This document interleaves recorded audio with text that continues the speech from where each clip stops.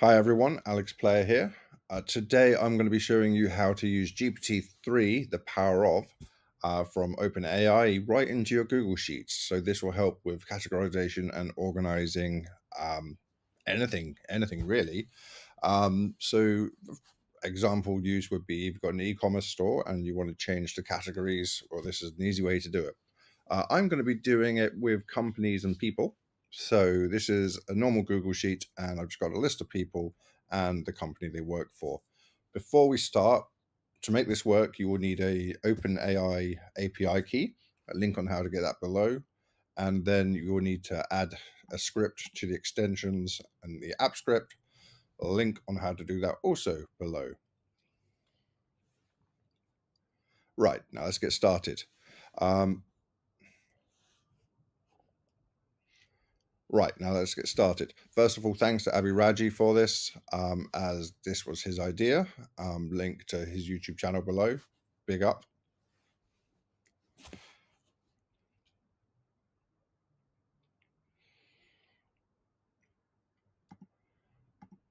Okay, so we have our companies. So what I'm going to do is create a bucket. So this is, you can just call this categories or whatever. This is the category list. So I have, what do we have here? I have an IT company, IT company, uh, toy, toy company, uh, supermarket, supermarché, um, Sega. Is that an IT company or a games company? I don't know. Um, okay, let's, let's leave that. So I think all these can come on, under three categories, really. Um, Mothercare. Okay. Child store. Is that what you call it? Child. All right. Let's just go with that. So, um, what we need to do now is call up our categories. So, uh, this comprises of two, possibly three parts. So we've got our categories, the input, and the rules. So first, let's tell it. So equal categories, open brackets. Let's tell it which the categories are. Um, so that comes from the bucket of D2 to D5. So uh, D2, I'm doing dollars. So when I drag it, it stays static rather than being like D3, D4 etc. So you, you wrap the letter in dollars, D2 to D wrap 5. Awesome. And now we want to check this variable, which will be on B2. B2. Um, we won't do any rules for now and hit enter. So it's telling me IBM is an IT company, which it is. Let's drag it down. Barbie, IT, IT, supermarket, supermarket, Marks and Spencer, Mothercare, child store. Perfect. And then we have our categories. Now, what we can do is we can make rules because obviously there are exceptions. So let's say we want Marks and Spencer to actually be a supermarket. Oh, it is a supermarket. Let's say we want it to be a choice store. Uh, so let's make some rules down here. Rules. Um, anything that contains uh, Marks and Spencer is categorized as a what should, what do we say child store child store there we go so now we just need to add this new rule uh, which is located at B13. So B13, let's wrap it dollar dollar. Didn't think like that.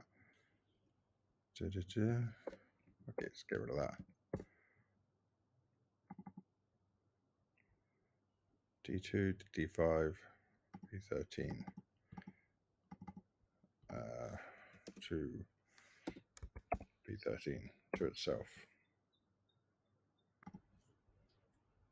So now we have our rule made. We just need to implement that. So let's hop over by doing comma. That brings us over to rules. And our rules will be, let, us say we've got a couple, so 13 to 14, uh, B13 to B14. Uh, we won't see any difference here because we've asked it to apply to M&S. So let's drag that down. Um, that P16, P17.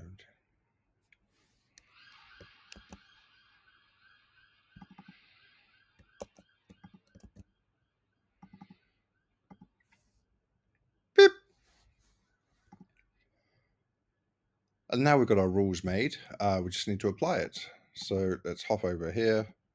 Uh, as you can see right now, we're in the input, but we want to add a rule. So our rule category will probably be from 13 to, we'll do a couple, 13 to 14. So B, we need to wrap it, B13 to wrap it again, B14 looking good. Uh, and that's it. Now we won't see any difference here because IBM is does not apply to the rule. But if we drag that down, then we got Marks and Spencer. Oh, you're playing silly buggers now, aren't you? Oh no, that's right.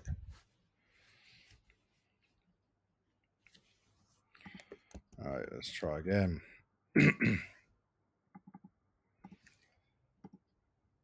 now we have our rules made. Um, we can add more if we win.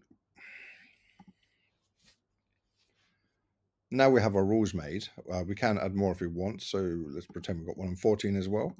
Uh, let's add them in. So right now we are on the second one, which is input. So let's add a comma to move over to rules and our rules live over at B13 to say B14. We want to wrap it up so we can drag it B13 to wrap it up B14. Perfect. Now we're not going to see any difference here because IBM is doesn't get affected by this rule. But if we drag that down then Marks and Spencer is a child store. Fantastic. And next uh, tutorial, I'll teach you how to use the AI um, rather than just category. Thank you.